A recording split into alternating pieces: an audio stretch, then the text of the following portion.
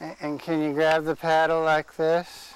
Photographer John Guider wants to teach his grandson some things about the river.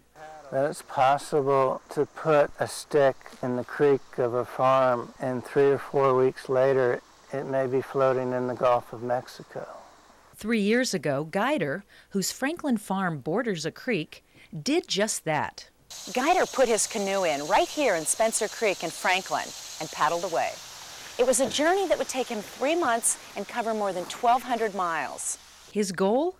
To photographically document the riverways from Franklin all the way to New Orleans.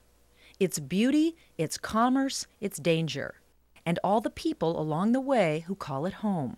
When I started out, I was so afraid that I wouldn't finish, I refused to tell anybody. But he did, carting along 50 pounds of camera equipment and camping along the way.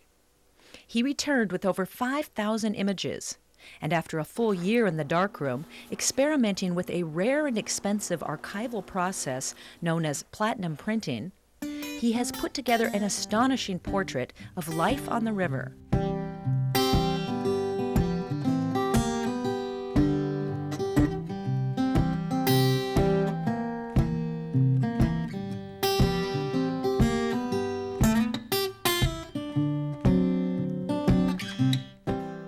There's saying that the river people are the best people in the world, and after a three-month experience, I'm here to vouch for that.